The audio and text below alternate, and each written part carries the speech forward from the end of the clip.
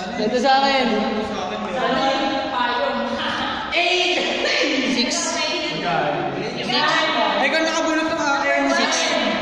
Six sa'yo, six. Ito. Ito sa'yo na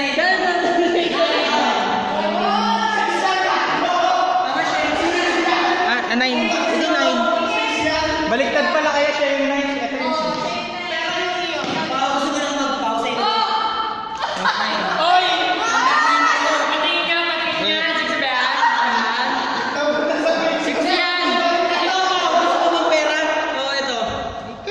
Tapos